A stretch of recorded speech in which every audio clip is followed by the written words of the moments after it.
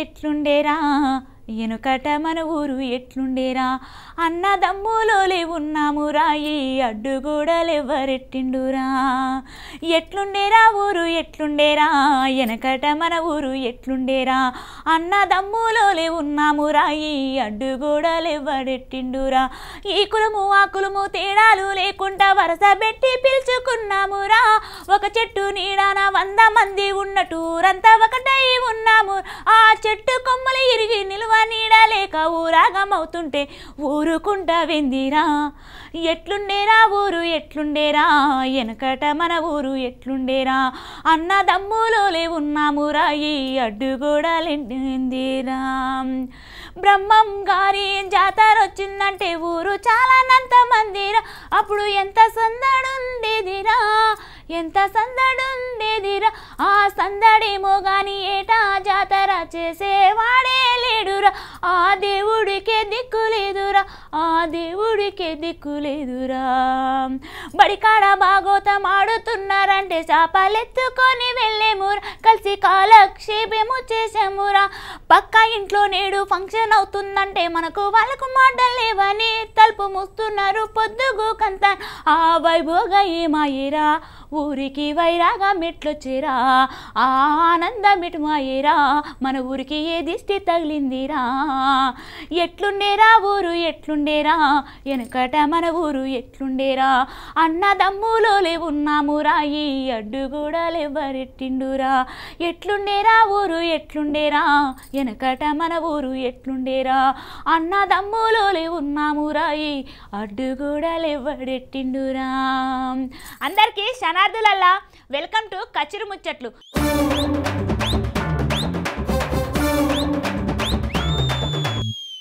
దుబాయ్లో ఇంటి పని చేయడానికి ఆడమనిషి కావలెను. మంచి జీతం ఇవ్వడంతో పాటు ఉండేందుకు రూము భోజన సదుపాయం కల్పించబడును. గిట్ల ఎవరన్నా చెప్పినా పేపర్ల ప్రకటనలు గిట్ల ఇచ్చినా ఆశపడి దేశం కాని దేశం పోయి కష్టాలు తెచ్చుకోకుర్రి. అగో వికారాబాద్ జిల్లా పరిగి నుంచి ఎడారి దేశంకు పోయి ఓగామె ఎన్ని కష్టాలు ఎలా వస్తుందో చూడుర్రి. అబ్బబ్బబ్బా ఎన్నిసార్లు చెప్తున్నా వలస బ్రతుకుల జీవితాలు ఇంతనన్నా న్యాయం జరుగుతలు. కానీ ఎక్కడో ఒక దగ్గర మళ్ళీ వలసలు జరుగుతూనే ఉన్నాయి. వలసలకు పోయిన వాళ్ళు మోసపోతూనే ఉన్నారు. ఇక తెలంగాణ వచ్చినాక కూడా ఇంకా రాష్ట్రంలో అరబ్ దేశాలకు వలసలు ఆగుతలేవు. వలస బ్రతుకుల తలరాతలు మారుతలేవు. పొట్ట చేత పట్టుకొని ఎడారి దేశం పోయి శాన తిప్పలు పడుతున్నారు తెలంగాణ బిడ్డలు. మొగోళ్ళే అనుకున్నాము అరబ్ దేశాలకు వలస పోయేది అని. కానీ ఇగో నేను చెప్తున్నది ఇగో ఈడ కనిపిస్తున్న ఈ ఆడామె గురించి. పాపం కదా? అసలు ఈ అమ్మకు ఏం జరిగింది అనుకుంటురా చెప్తా వినుర్రి. ఇగో ఈమె పేరు సమీర వికారాబాద్ జిల్లా కుల్కంచర్ల మండల కేంద్రం. ఊళ్ళే బతికేతందుకు ఉపాధి లేక బతుకు పోరాటంలా దుబాయ్ వాట పట్టింది. కానీ అక్కడికి పోయినాక తెలిసింది పాపం సమీరకు దూరం కొండలు నునుపన్న సామెత. దుబాయ్ పోవడానికి ధైర్యం చేసిందంటే తన బిడ్డను కాపాడుకోవడానికి. అసలు ఏంటంటే తన కొడుకుకి జీర్ణశయ వ్యాధి బ్లడ్ వామిటింగ్స్ ఆపరేషన్ చేయించుకోలేక డబ్బులు లేక కుటుంబ భారం మొయ్యలేక భర్త వదిలి వెళ్ళడంతో ఏం చేయలేని పరిస్థితిలో ఈ సమయంలో దుబాయ్లో ఓ ఇంట్లో పని మనిషి కావాలని వచ్చిన అవకాశాన్ని సద్వినియోగం చేసుకోవాలని దుబాయ్కి వెళ్ళింది ఈ అక్క.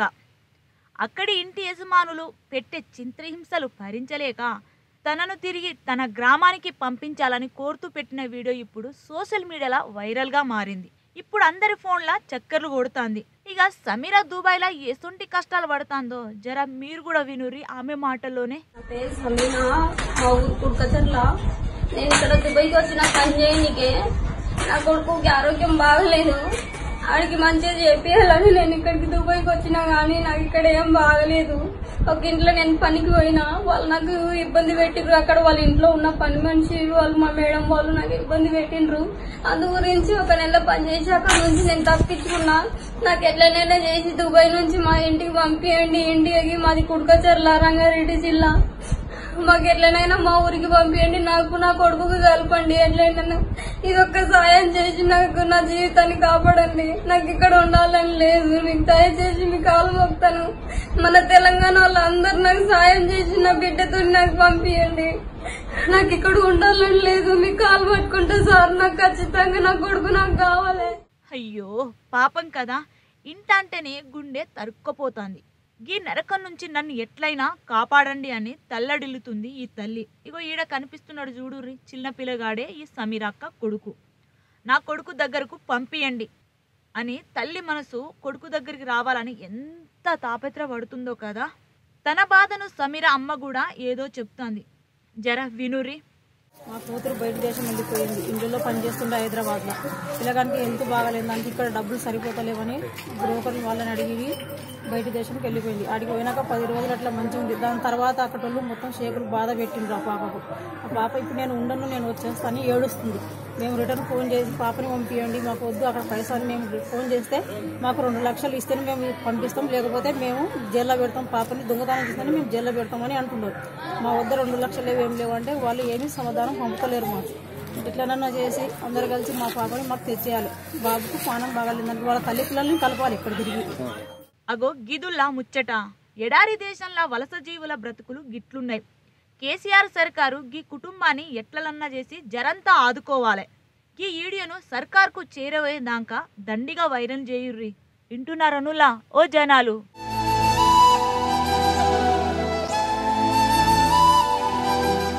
మొన్న గా నడుమ రోడ్ చక్కగా ఏపియలేదని ఓ ఇంజనీర్ తోటి లోకల్ ఎమ్మెల్యే బిస్కిల్ దించిండని చెప్పుకున్నాం కదా ఇక ఇప్పుడు మళ్ళా గసంటిదే గో ముచ్చట పట్టుకొచ్చిన. రోడ్డు మంచిగా లేవని ఓ ఎమ్మెల్యే సారు ఎసంటి ఘనకారం చేసిండో? ఎరికేనా? చూసి తరించురి ఆ ముచ్చటేందో? అగో ఎందుకో శానా మంది గుమ్మిగూడిర్రు? చూస్తుర్రా? అరే బకిటలల్లా ఏమో తెచ్చి ఎవల మీదనో పోస్తున్నారు కదా. గిది చూసి ఆనలు గిట్ల కొట్టాలని నీళ్ళు జల్లుకుంటారేమో అనుకోనేరు. పని చక్కగా చేస్తలేడని గీ ఇంజనీరుకు లోకల్ ఎమ్మెల్యే చేసిన పురస్కారం గిది. గీ ముచ్చట మహారాష్ట్రలా జరిగింది. బొంబాయి గోవా నడుమ ఉన్న రోడట చక్కగా లేదట. ఏడ చూసిన అన్ని బొందలే దర్శనమిస్తున్నాయట. గిది చూసి లోకల్ షేయ్ పార్టీ ఎమ్మెల్యే నితీష్ రాణే శానా అంటే శానా గరమైండు. అట్లని అంతటితోటి కూడా ఊకోలేదు. గిందుకు కనకావలి పురపాలక సంఘం అధికారులే కారణమని తన బలగంతోటి వచ్చి గిసొంటి ఘనకార్యం చేసిండు. పురపాలక సంఘం చైర్మన్ను డిప్యూటీ ఇంజనీర్ను నడి రోడ్డు మీద దొరకబట్టుకొని గిట్ల బకెట్లతోటి బురద నీళ్ళు పోసిర్రు ఇద్దరి మీద. అగో చూస్తారా? ఒక్క బురద మీద పోసుడే కాదు ఇద్దరిని కట్టేద్దామని కూడా చూసిర్రు. కనకావిల బేస్తారం జరిగింది గీ ముచ్చట. గీ ఎమ్మెల్యే చేసిన ఘనకార్యం తెలిసి ఆయనను ఆయన బలగాన్ని జైల్లో పెట్టిర్రు పోలీసు బాసులు. అన్నట్లు గీ ఎమ్మెల్యే ఎవరో కాదు మాజీ సీఎం నారాయణ్ రాణే పుత్రరత్నం అట కొడుకు చేసిన పని తెలిసి అధికారులకు శ్రమాపణలు కూడా చెప్పిండు. ఆయన ఎమ్మెల్యే సార్ ఓవర్ యాక్షన్ కాకపోతే మరి గిట్ల చేస్తారనుల్లా రేపు ఈ ఎమ్మెల్యేకి కూడా జనాలు గిట్లనే చేస్తే ముఖం ఏడ పెట్టుకుంటాడో ఏమో పో. లగ్గం పిలుపు. మల్లడుగు గ్రామ వాస్తవులు యాదన్న పెద్ద బిడ్డకు. చిన్నగుంట గ్రామ వాస్తవులు మల్లన్న చిన్న బిడ్డనిచ్చి లగ్గం చేయుటకు పెద్దలు నిశ్చయించిర్రు. లగ్గం. శ్రావణ మాసం రెండో వారం పద్నాలుగో తారీఖు నాడు. విందు. అదే రోజు లగ్గం అయినాక ఎమ్మటే బంధుమిత్రులతో వచ్చి ఇద్దరు ఆడపిల్లలను సల్లంగా బతుకమని దీవించని ప్రార్థన. ఏందులా అట్లా చూస్తున్నారు? సుప్రీంకోర్టు తీర్పునే తప్పు పడతారా ఏంది? ఇంకా కొద్ది రోజులు పోతే గీసొంటి లగ్గం కారెట్లు కూడా వస్తాయి ఇంటింటికి. ఇప్పుడైతే ఇంకా గంత దూరం రాలేదు కానీ గీసొంటిదే ఓ ముచ్చట చెప్తా చూడుర్రి. లగ్గం అంటే ఆడ మోగ కలిసే చేసుకుంటారా? మొగోళ్ళు మొగోళ్ళు ఆడోళ్ళు ఆడోళ్ళు కూడా చేసుకోవచ్చు. సుప్రీంకోర్టుగా నడుమ గీసొంటి తీర్పే ఇచ్చింది. ఏమంట కోర్టు ఈ తీర్పు ఇచ్చిందో? ఇక గానాటి సంధి దేశంలో ఎవలకు నచ్చినోళ్ళను వాళ్ళు లగ్గం చేసుకుంటారు. ఇగో ఈడ కనబడుతున్న గీ ఇద్దరు ఆడోళ్ళు గట్లనే చేసుకున్నారు లగ్గం. ఉత్తరప్రదేశ్ రాష్ట్రం వారణాసి జిల్లా విర్బన్పూర్లా జరిగింది గీ ముచ్చట. వీడియోలో కనబడుతున్న గీ ఇద్దరు ఆడోళ్ళు కాన్పూర్లా చదువుకునేటప్పుడు మంచి దోస్తులంట. రాను రాను ఇళ్ళ దోస్తాను ఒగలను విడిచి ఒగలు బతకలేనంతగా పెరుక్కుంటా వచ్చింది గంతే ఇక గిట్ల కాదు ఇద్దరు మాకం లగ్గం చేసుకుందామని బేస్తారం ఊళ్ళున్న అంజన స్వామి గుడికి పోయిర్రు. మొదలందరూ వెనక ముందు ఆడిరట కానీ ఆఖరుకు పూజార్లు లోకల్ జనాలు అంతా కలిసి ఇద్దరికి దగ్గరుండి గిట్ల లగ్గం జరిపించిర్రు ఇక గమ్మతి ముచ్చట ఏందంటే ఈ ఇద్దరు ఆడోళ్ళకు మొగోళ్ళంటే అస్సలు నచ్చదంట. మొగోళ్ళ మీద పెసరు గింజంతా కూడా నమ్మకం లేకనే ఇద్దరు మకం గిట్ల లగ్గం చేసుకున్నామని చెప్తున్నారు. కానీ ఇళ్ళ ఇంటోళ్ళు ఎవరు కూడా పెళ్ళికి ఒప్పుకోలేదట. పాపం. ఏదేమైనా ఇళ్ళ దోస్తానుకు గిట్ల లగ్గంతోటి శుభం కారెట పడ్డది అన్నట్టు. గీ వీడియో ఇప్పుడు సోషల్ మీడియాలో చాలా వైరల్ అవుతుంది తిందామంటే తిండి లేదు ఉందామంటే ఇల్లే లేదు. తిందామంటే తిండి లేదు ఉందామంటే ఇల్లు లేదు. చేద్దామంటే కొలువు లేదు పోదామంటే నిలువు లేదు. నాంపల్లి టేషన్ కాడి రాజాలింగో రాజాలింగ. రామారాజ్యం తిరుచూడు శివ శంభులింగ. రామారాజ్యం తిరుచూడు శివ శంభులింగ. పేరుకు బంగారు తెలంగాణ అని జబ్బలు సరుచుకుంటారు లీడర్లు. కానీ రాష్ట్రంలో ఉన్న పరిస్థితులు చూస్తుంటే నా గుండె తరకపోతుందల్లా ఆదిలాబాద్ జిల్లాల గిరిజన గ్రామంలో జరిగిన గీ ముచ్చట చూడుర్రి మీకే ఎరుకైతుంది ఎట్లాంటి పరిస్థితుల్లో ఆకాశ మార్గాన రాకెట్లు పంపిస్తున్నాం. గట్లనే మనిషిలాగే పనిచేసే రోబోలను మర మనుషులను తయారు చేస్తున్నాము. ఇంకా ఎన్నెన్నో చేస్తున్నారు.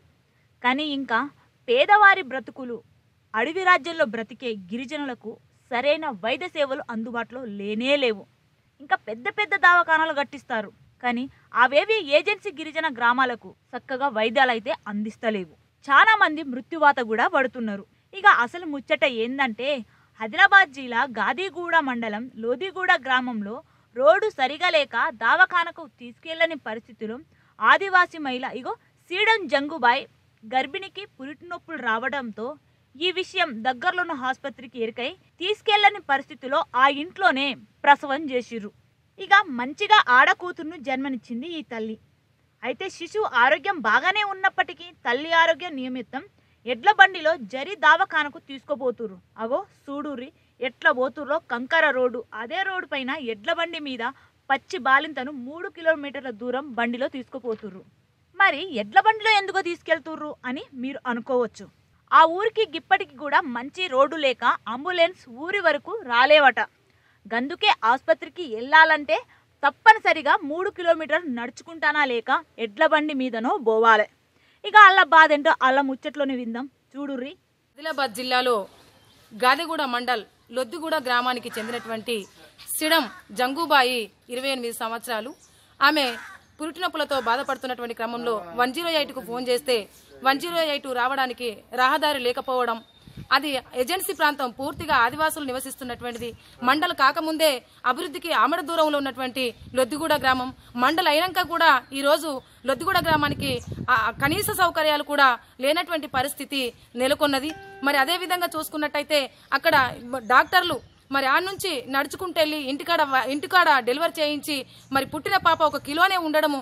మరి పాపకి రక్తహీనత చాలా ఉంది. బా- అంటే ఆరోగ్యంగా లేదు పాప. తరలించాలంటే వెడ్ల బండి పైన మళ్ళీ హాస్పిటల్కి తీసుకొచ్చినటువంటి పరిస్థితి. ముఖ్యంగా ఇదే అవర్షకాలము. పూర్తిగా ఇంకా రోడ్డు కాలినడక కూడా ప- కాలిగా నడక కూడా వెళ్ళినటువంటి పరిస్థితిలో రోడ్డు సౌకర్యం లేక చాలా ఇబ్బంది పాలవుతున్నారు. ఇగో ఇది అసలు ముచ్చట.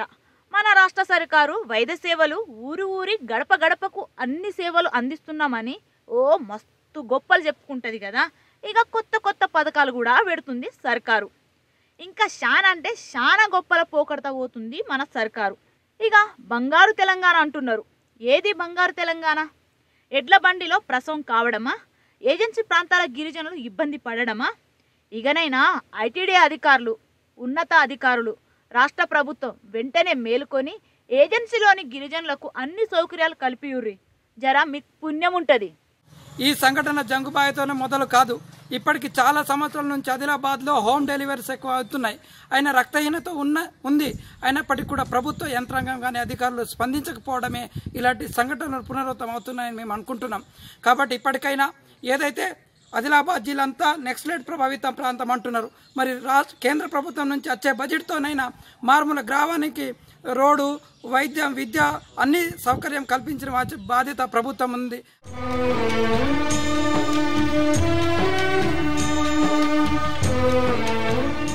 ఇగో గీ అలా నేను పట్టుకొచ్చిన కచిరి ముచ్చట్లు చూస్తూనే ఉండు రాజ్ న్యూస్.